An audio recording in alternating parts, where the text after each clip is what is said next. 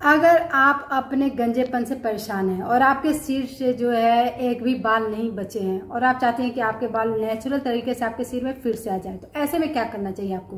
तो सिंपल सा तरीका है, ऐसे में आपको क्या करना है कि लेना है धतूरा। धतूरा का तेल आप देखेंगे मार्केट में आपको आसानी से मिल जाएगा, आप इसको देखिएगा। ये बिल्कुल आजमाया हुआ नुस्खा है, इसलिए मैं आपके साथ शेयर कर रही हूँ। धतूरे का तेल आपको मार्केट में मिल जाएगा और इस तेल से आप अपने सिर की मसाज कीजिए।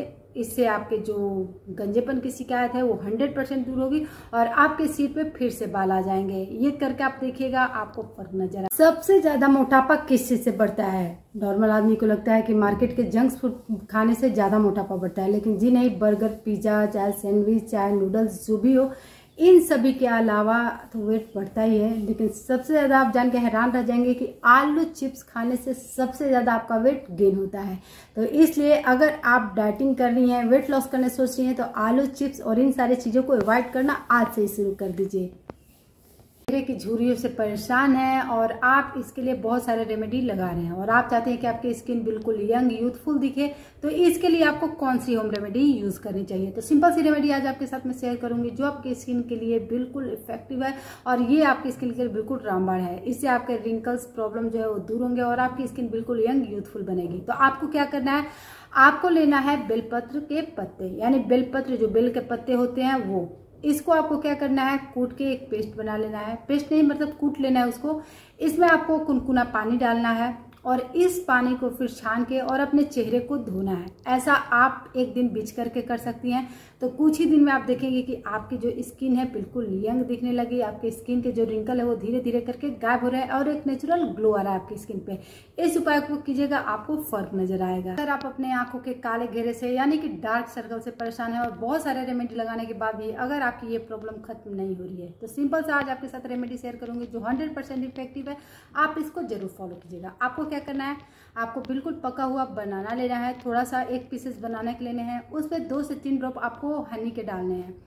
और इसे अपने आँखों के आसपास इसको रब करना है। आप चाहे तो पूरे स्किन पे भी आप इसको पूरे चेहरे पे भी रब कर सकती हैं और इसे पाँच से सात मिनट तक अच्छी तरह से रब करना है अपने चेहरे पे। उसके बाद इसको बीस मिनट तक सूखने दीजिए और उसके बाद वॉश कर लीजिए। ऐसा आप डेली करेंगे तो आपके चेहरे से तो डार्क स्पॉट जाएँगे, साथ ही साथ आपके आँखों के काले घेरे भी दूर हो जाएँगे। ऐसा कीजिएगा, आपको फ़र्क नज़र आएगा। आज आपके साथ मैं शेयर करूँगी बिल्कुल होममेड नेचुरल ब्लीच आपको क्या करना है? एक चम्मच कॉफ़ी लेनी है। इसमें आपको चार से पाँच ड्रॉप लेमन के मिक्स करने हैं। आपको लेना है थोड़ा सा एलोवेरा जेल।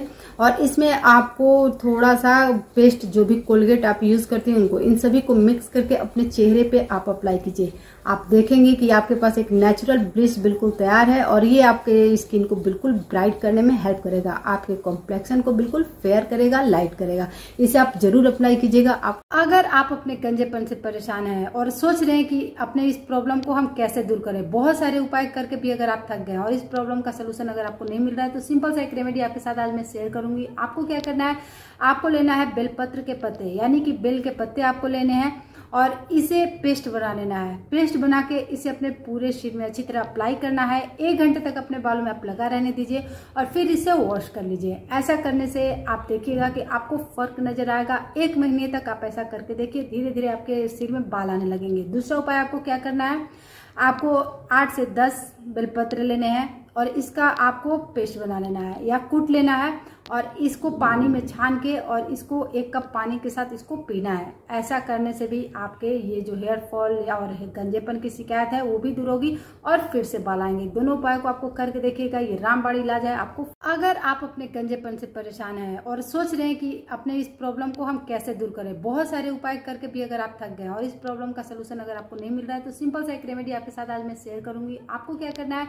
आपको लेना है बेलपत्र के पत्ते यानी कि बेल के पत्ते आपको लेने हैं और इसे पेस्ट बना लेना है। पेस्ट बना के इसे अपने पूरे शरीर में अच्छी तरह अप्लाई करना है। एक घंटे तक अपने बालों में आप लगा रहने दीजिए और फिर इसे वॉश कर लीजिए। ऐसा करने से आप देखिएगा कि आपको फ़र्क नज़र आएगा। एक महीने तक आप ऐसा करके देखिए धीरे धीरे आपके सिर में बाल आने लगेंगे। दूसरा उपाय आपको क्या करना है?